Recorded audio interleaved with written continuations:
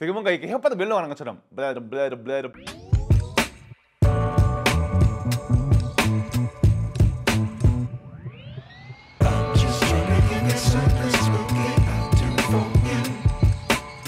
just trying to.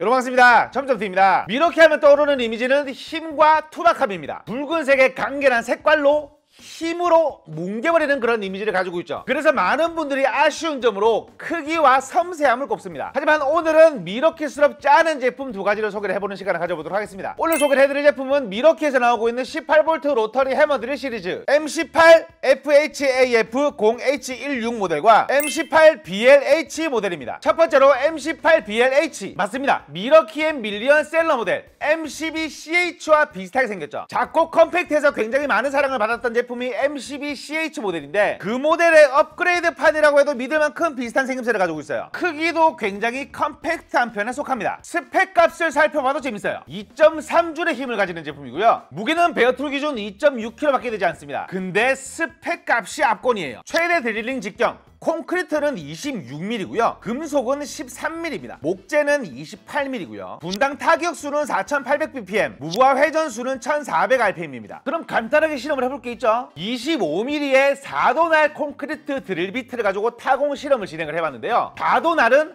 정확한 타공은 가능하지만 2도날에 비해 속도가 느린 점을 꼽을 수가 있죠. 근데 들어가는 속도가 지금 이게 빨리 감기가 아님에도 불구하고 굉장히 잘 들어가는 걸 볼 수가 있습니다.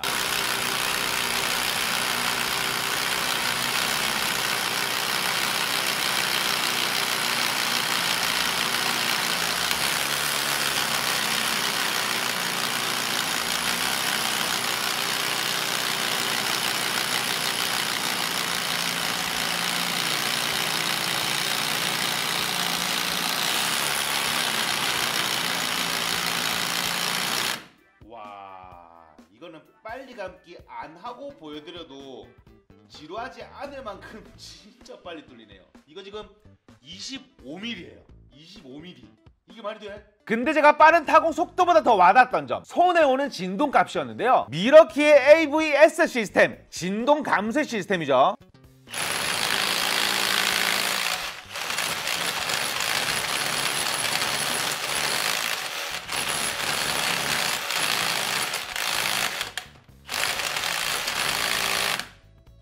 오는 진동값이 확연하게 줄어드는 걸볼 수가 있었어요. 보통 25mm의 콘크리트 드릴 비트를 타공을 하면 손에 오는 진동값이 어마어마해지거든요. 근데 진동 많이 오지 않았습니다. 굉장히 깔끔하게 타공이 잘 되는 걸 볼 수가 있었어요. 25mm의 콘크리트 드릴 비트를 끝까지 집어넣는 걸 볼 수가 있었으니까 한 번이라도 뚫어보신 분 아실 텐데 그렇게 구멍을 뚫잖아요. 그러면 손 정말 많이 떨리거든요. 뚫고 나서도 문제예요. 손이 막 부들부들 떨립니다. 근데 어렵지 않게 타공이 되는 걸 볼 수가 있었고요. 포지 배터리 때문에 그런가? 확실히 밀워키는 포지 배터리를 끼운 다음부터는 뭔가 제품이 한 단계 업그레이드 된 것 같은 느낌이 확연하게 오는 걸 볼 수가 있어요. 이 포지 배터리 는 써보면 써볼수록 정말 좋은 배터리라는 생각이 드는 게 제품의 실질적인 나한테 체감으로 다가오는 능력치를 올려주는 건 물론이고 러닝타임 길죠. 전용 충전기를 사용을 하게 되면 배터리 충전 시간까지 드라마틱하게 빨라집니다. 정말 예전으로는 돌아가지 못할 것 같은 능력치를 이 포지 배터리가 주는 것 같아요. 두 번째로 M18 FHAF0H16 모델. 저는 이 제품은 작은 아이디어 하나로 큰 차이를 만들어냈다고 생각하는 사람이에요. 우리 천장 타공 많이 하시는 분들,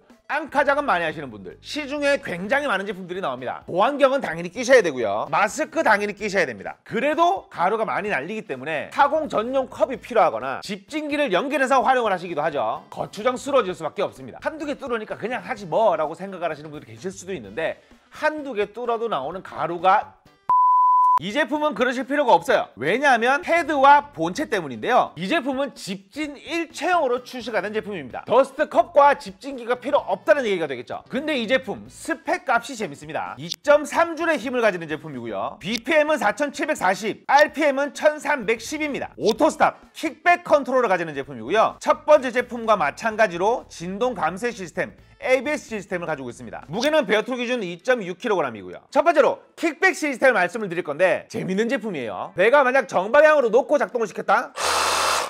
멈추잖아요. 근데 반대로 하잖아요. 안 멈춥니다. 근데 역방으로 한다?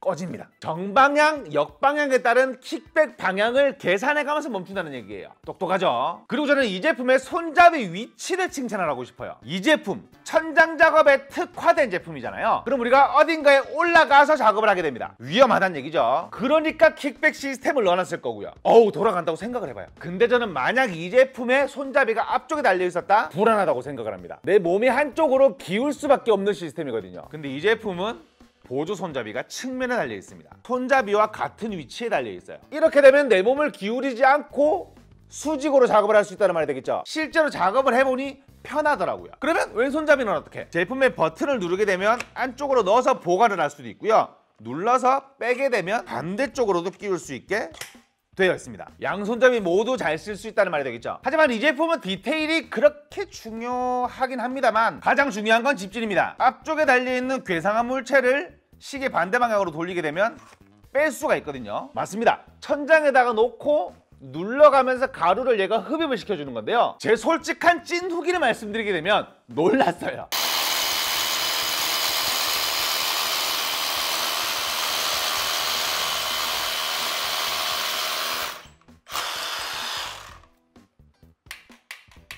와 대박. 없어. 뭐야? 사실 제가 크게 기대를 안 했거든요. 근데 거의 안 떨어져요. 이게 지금 안으로 다 들어갔다는 얘기 아니야. 와 이거 진짜 신기하네.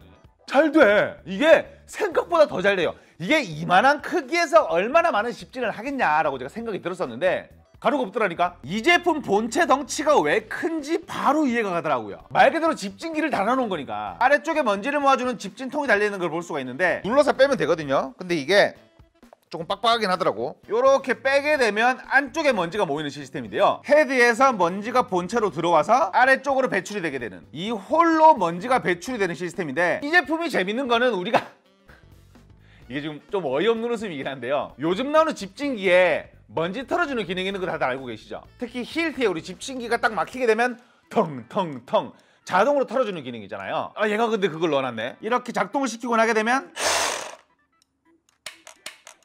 쳐주는 소리를 들을 수가 있잖아요.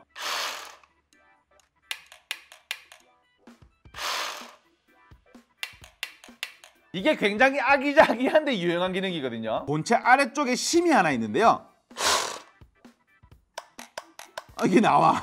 되게 뭔가 이렇게 혓바닥 메롱하는 것처럼 블레드 블레드 블레드 먼지만 잘 털리면 되지 뭐. 천장 타공 작업은 일정한 깊이로 뚫어주는 게 굉장히 중요합니다. 그래서 일정한 깊이로 뚫을 수 있는 기능을 만들어 놨고요. 이렇게 되면 내가 원하는 만큼만 뚫을 수가 있게 되겠죠. 누가 봐도 소모품처럼 보이는 이 dust cup 총 3개를 넣어주기 때문에 제품을 정석적으로만 잘 활용을 하게 되면 당분간은 추가 구매를 걱정하지 않으셔도 되겠죠. 오늘은 밀워키에서 나오고 있는 로터리 해머드릴 2종을 소개를 해봐드렸습니다. 영상에서 말씀드리지 못한 더 디테일한 부분을 알고 싶으시다면 댓글 달아주세요. 제가 답글 남겨드리도록 하겠고요. 오늘 소개를 해드리는 로터리 해머드릴 각 한 대씩 bare tool로 나눔 이벤트로 진행하도록 하겠습니다. 영상에 나는 이 제품을 어디에 활용하겠다 댓글 남겨주신 후 나눔 이벤트 신청을 해주신 분에 한해서 베스트 댓글 선정에 제품을 보내드리니 많은 신청 부탁드리겠고요. 간만에 밀워키스럽지 않은 컴팩트함과 디테일을 가진 제품을 리뷰를 해본 것 같습니다. 지금까지 시험점TV였습니다.